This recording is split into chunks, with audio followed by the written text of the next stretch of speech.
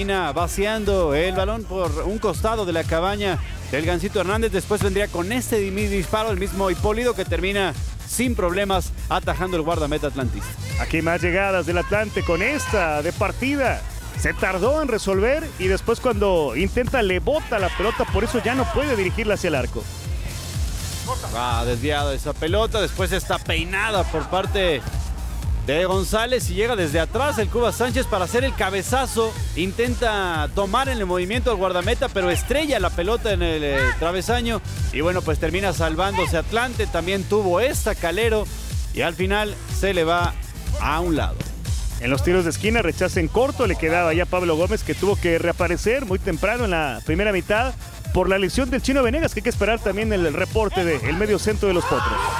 Y aquí vemos la confusión en la marca por parte de Mineros y el remate muy bueno por parte de Echeverría. Está atento a la jugada, la pelota pasa y consigue así el 1 por 0. Vendría la reacción por parte de Mineros, pero antes esta en donde salva el arquero esa jugada. Y bueno, pues este disparo por parte de Hernández termina dentro. Ahí está el tiro cruzado para poner en ese momento el empate.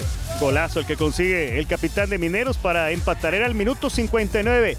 Y fueron los momentos de sufrimiento para el Atlante. Esta, increíble, casi un minuto después se presenta esta oportunidad. Hipólito tan cerca del arco falla. Y la respuesta del Atlante sería en esta jugada con Luis García, el servicio desde el costado. Echeverría simplemente llega para encontrarse con la pelota y mandarla al fondo y con eso darle el gol de la ventaja y después el gol de la victoria al Atlante. Esta gran salvada del Gancito después de que Pablo Gómez desvía la pelota, iba hacia el arco, pero la desvía atento el arquero.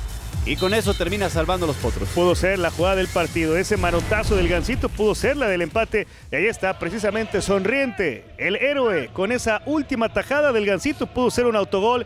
Y Atlante saca la victoria. Va a llegar a 28 puntos. Está a 4 de Celaya. Y es cierto, en la última jornada es visitante, aspira a ese punto adicional. Nos recordaba también Sergio Reina a través de redes sociales. O sea que Atlante puede alcanzar todavía a Celaya en el primer lugar. Nosotros nos despedimos a nombre de todo este equipo de Ernesto de Valdés, ahí en la cancha.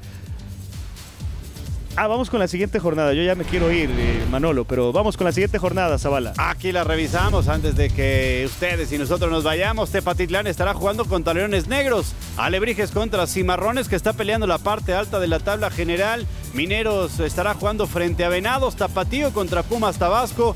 Cancún en casa ante el equipo líder de la competencia, que es Celaya. Corre caminos ante Atlante. Allá va a buscar el Atlante la posibilidad de ganar como visitante y esperando el resultado de Celaya podría incluso asaltar la primera posición. Atlético de Morelia contra Tlaxcala y Dorados contra este, Tampico Madero. Jornada que se va a disputar de martes a jueves. La última